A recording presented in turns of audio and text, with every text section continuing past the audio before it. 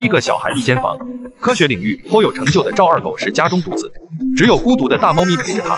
他们受单位指派出差银河系外的仙女座，找到了一颗白矮星挖矿，机缘巧合之下闯进了八维时空，一不小心掉进虫洞，穿越了三十年前。还好有一吨的白矮星矿石跟着穿越到了他小时候家徒四壁的家。穷惯了的爸妈看到了，开心的手舞足蹈，这下终于发财了。谁知年轻的爸妈整天不做事，每天在家就可父母太卖力，生了一亿胞胎，这么大一点的房子咋住呀？土豪土豪的赵二狗，于是这样改：一找二舅妈借几根工字钢，再找二舅妈借几根方管做支架，水泥砂浆浇灌耐用一万年。二四周靠墙隔成一亿个独立的床位，开个半挂车到二表哥家借一亿个松软床垫就是床，靠墙贴软包，孩子睡觉才舒服。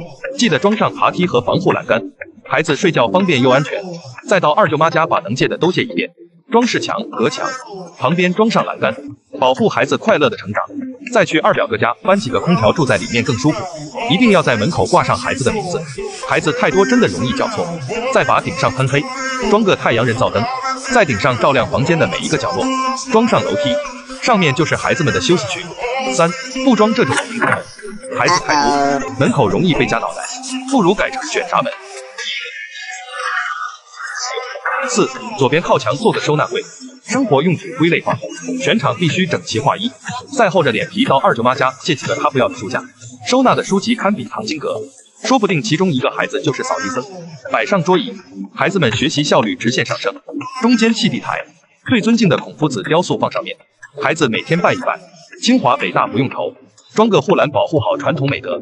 五，右边孩子食堂不能少，种上稻谷，吃饭再也不担心。披上战袍。撸起袖子把持灯，旁边养个大火炉，的火石油放上桌椅，就是孩子的就餐区。光盘行动你我他，摆上精致的盘子，来个黄金脆皮烤乳猪，孩子吃饭都变香了。这样的房间，每个孩子都有自己独立的休息区、生活区、公共学习区，真的非常适合优生。